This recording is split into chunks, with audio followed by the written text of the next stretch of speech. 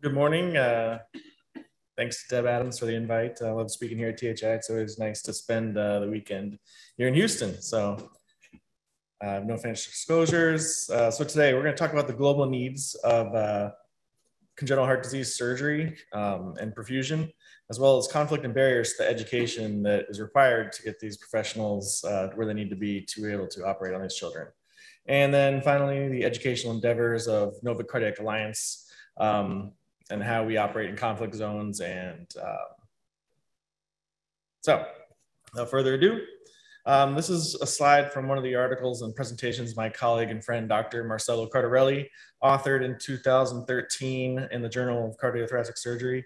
Um, this article I love to put in my presentation when speaking about uh, pediatric cardiac surgery globally because it kind of shows you quickly, abstractly, the deficit of cardiac surgeons in continents around the world. Um, as you can see, Asia, you know, almost 2,000 short surgeons. Um, and this is based upon the US uh, ideal ratio of congenital heart surgery that takes place in the United States. Uh, one 140 kids per surgeon is available in the United States. That was kind of set as the ideal ratio. So as you can see in these other continents is the deficits of countries that fall below that ideal ratio of uh, congenital heart disease surgical patients and active pediatric cardiac surgeons. So as we can kind of hypothesize, uh, a lack of cardiac surgeons in these continents probably also leads to a lack of other cardiac specialists such as pediatric perfusionists, pediatric cardiac anesthesiologists, nursing, and support staff. Um, so you can really see the kind of um, need for global education to help uh, reduce the amount of patients that need surgery and don't have access to uh, surgeons in, in this. Um, so we could break this down even further um, into kind of a map view or country view um, of that previous slide. And you can see there's a lot of yellow and red in Asia and Africa, the two, two continents that had the highest deficit, right? Um, and the yellow and red both are showing the red being no surgeon in country and yellow being, you know, not enough surgeons in country to take care of the children that are presenting with uh, congenital heart disease. Um, so with the red and the yellow countries, it's not saying that cardiac surgery, pediatric cardiac surgery is not happening in these countries. This most certainly is. However, the population demands and the actual cases that are presenting aren't being taken care of by the amount of surgeons and specialists in country. Also, there's very different geographical locations that a lot of surgery takes place in certain city centers, but then as you move into the rural areas and outside is where we find these, uh, you know, kind of deserts of no surgery taking place. Um, and that's kind of where our charity, as well as other charities, are kind of going in and trying to help foster, build capacity in these countries and these areas that have a population, have a need, and have people that want to learn, um, just don't have the access to that education. Um, so we're kind of going into these countries and trying to build that capacity. Um, and we'll kind of go through some of the reasons and the barriers of why these countries um, are lacking pediatric cardiac surgical care. Um, I began uh, traveling with Cardiac Alliance, which was ICHF back in 2008. Um, and it's incredible the amount of information that's been transcribed from the US, Australia, Europe into these countries. Um, lots of all, all textbooks have been pirated and PDFed and photocopied and translated into languages all over the world, which, you know, uh, piracy is one thing, but however, open source journals and, and magazines uh, really have allowed us to give this knowledge to so many different people. Um, and you know, as I travel to these far-flung places, I notice that I'm not only bringing knowledge to them, but usually they already know this, and I'm just concreting that they've learned what they're, you know, and, and they're doing it correctly. Um, so that's really nice to see that they're studying and, and learning these things, just not putting into practice and not having that person that has been educated formally to say, yes, you're doing this correctly, and they feel much better. Um, so, um, but there are barriers. Uh, and one of those barriers to this education and, and proliferation of cardiac surgery uh, in children is conflict. Um, unfortunately, we live in a world where conflict is occurring almost everywhere. Um, it's a major obstacle. It makes scarce resources even scarcer. Uh, it's difficult for us to cross borders, to ship in supplies, to uh, move equipment. Uh, even volunteers don't want to travel to some spots because it's dangerous. Um, but you know, congenital heart disease carries on. Children are born every day and needs to have surgery. So we need to kind of figure out how to push aside these barriers and, and bring them this um, help. Uh, so this is a slide. I have another one that I, I used back in 2019. I'll show you as well. Um, these are the top top 10 conflicts to watch in the world. Um, and as you can see, Ukraine's one, Ethiopia's two. They're highlighted in red because these are kind of the two places that Cardiac Alliance is focusing on um, uh, this year. Um, and I'll get into more about uh, what we're doing in Ukraine and then the future aspirations in Ethiopia. Um, so in 2019, you can see Ukraine was on the list, but obviously rocketed to the first position uh, due to the Russian invasion. Um, Africa, as you can see in the previous slide, is number 10 because there's so many problems in Africa that they had to combine it into one conflict to make room for other conflicts because that's how many conflicts we have going on in the world, which is uh, unfathomable.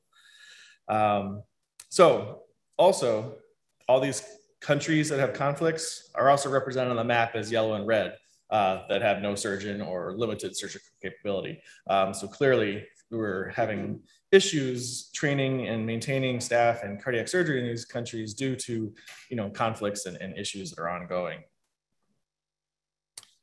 And, and as you would guess, all the accredited schools, or I'd say most of the accredited schools that exist in the in this world are all in the green countries. And if you remember the green countries, we're all United States, Australia, Europe, um, Canada, though these are the countries that have you know little conflict or at least have a safe you know living environment and not being uh, you know invaded and war torn. Um, so, so these accredited perfusion schools in these countries that don't have conflicts. Also you know basically have boards that have government rules and regulations and are able to you know pass on these certifications to people and confirm their knowledge and training base from schools and graduates from places like THI um, to confer the degree and practice in the, in, in the country. Uh, most of these boards do have some um, ability. You know, Canadians can practice here, we can practice in Canada. That gets a little stickier in different countries where, uh, you know, you might have to retest and stuff. But overall, these are kind of the boards that are currently available in these countries that um, are able to to to have these degrees. Um, so what what sense what are we doing with perfusion education? So, you know, we're basically an on-the-job model. We go into these countries, we train perfusionists side by side. Um, we develop kind of a curriculum for each country based upon what they're doing and what level they are. So, you know, when we first start these trips, sometimes it's very simple cases. Uh, we progress as we go along. Um, Deb can attest to this. She's been in Iraq from the very beginning when we started working in Nasiriyah. Um, and they progressed all the way through to having um, almost a self-sustaining um, cardiac team. Uh, this right here is Naim. He, this is Benghazi, Libya, where we also have set up programs um, again, in a conflict zone, Libya, you know, obviously Benghazi was a hot zone for a while and still remains to be um, tamed. Uh, but they have a huge hospital. They, they, you know, they do like 15,000 live births at Benghazi Medical Center. There's tons of heart, heart surgery that needs to happen. Um, so training these perfusionists with NCA has become, you know, a passion of mine and many others in this room that have traveled with us or other charitable group, charitable groups uh, to kind of move this along. Uh, so obviously the other country that we've been very heavily invested in is Ukraine. Uh, the Cardiac Alliance, we started visiting Ukraine in 1994. And we've been to three major programs, which are Kharkiv, Odessa, and Kiev. Um, Kharkiv is where I've been the most. Uh, Odessa was actually my first trip to Ukraine in uh, 2010. And I've returned many times, and Ukraine definitely holds a special place in my heart. Um, Kharkov is the first program that I was involved with that became completely self-sufficient. So I trained perfusionists, the surgeon, anesthesia, nursing staff. They've all been trained by us and went through all the steps. And now they're so um, exemplary that they even travel with us now. So now their perfusionist travels with us to on our trips to other countries to kind of pass along the knowledge, which is fantastic. Um, unfortunately, now Kharkiv is on the eastern side of Ukraine. and is being threatened with the war machine from Russia. So a lot of the people have been displaced from Eastern Ukraine into the West. Um, so this is, you know, pre-invasion where we were in, in the country. And then basically almost, so the war started in February 24th. We were in country just before that in, um, I think, December. Um, we were in Lviv and we just started the program in Lviv. Beautiful Western town right on the border of Poland. Uh, we went there for a two week trip, started the, the program. We identified the surgeon, young guy. Um, his wife is a cardiologist. Um, they had perfusionists. Everything was in place. We did the trip. Everything was great. And then the war broke out. Uh, unfortunately, the everyone who fled Kharkov and Kiev, everyone was flowing into Lviv. Okay, all the refugees were pushing into Lviv and then trying to get across the border to Poland. Uh, we got notification from the surgeon that there was many children that were arriving that had newborns, that had critical heart disease um, and needed operations. Uh, so we kind of went into hyperspeed and we put together a team real quick and we ended up flying into Lviv or flying into Krakow, Poland in um, middle of March and did a trip there, uh, a one week trip across the border uh, took a 10 hour bus ride. It was pretty difficult to see all the refugees on the border uh, to get into Lviv and do some operations. Um, it was interesting to be in Lviv at the time. There was teams that were arriving from all different hospitals coming to Lviv to kind of set up other hospitals and just basically help that staff uh, because they had no place to operate in Kiev and they all the teams basically moved to Lviv to kind of help out. So we were sharing OR space with all these different people um, and operating at the same time. And it was great to see. Um, so we're also in Africa. Uh, uh, and the red is Ethiopia up there. And uh, just finished our first trip to the Democratic Republic of Congo, in Kinshasa, um, which is an awesome site. And they're super excited. It's a great hospital. Um, and then we are going to Angola in a few weeks in July. So uh, that's going to be kind of a new site for us. So Africa uh, is definitely on our map, and we're trying to build capacity there. Um, we are looking for a perfusionist. This is a quick plug. Perfusionist for the first week, or not the first week, but one week in July, July 9th to the 16th. We need a PD perfusionist to go to Addis Ababa uh, in Ethiopia. So if you know anyone or anything, let's go. Um, the and then you know talking about Iraq and NCA, um, we have a long history there. Um, I'd be remiss to not talk about Bob Groom, who is also in Africa and he's building capacity in Kenya uh, at his hospital. They has a perfusion school now that he is teaching and graduating perfusionists, and that's an awesome, awesome thing.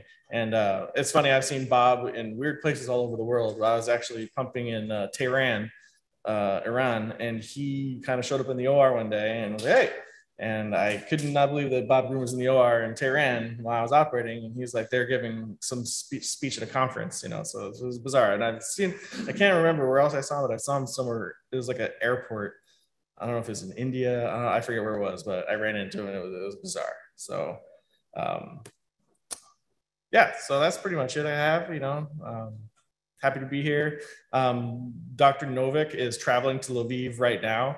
So I don't think he's going to be able to present. I don't know if he got in touch with anybody, but I know he was in transit to Lviv. So that's a difficult kind of flight and uh, to get over there. But I know Marcelo, our other uh, senior surgeon and research um, coordinator for the uh, Cardiac Alliance is going to talk next, I believe. And uh, we look forward to having you guys on trips or getting involved anyway. And we appreciate it. And thank you.